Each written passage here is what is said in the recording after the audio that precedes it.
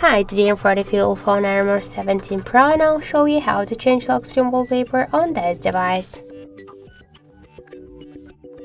So first open the settings and then tap to the uh, and then scroll to the display section.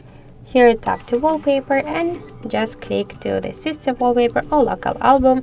So here in local album you will see all of the previously taken photos on your device camera or downloaded from the internet and in the system wallpaper you will see all of the default wallpapers. For example, let's use one from this one.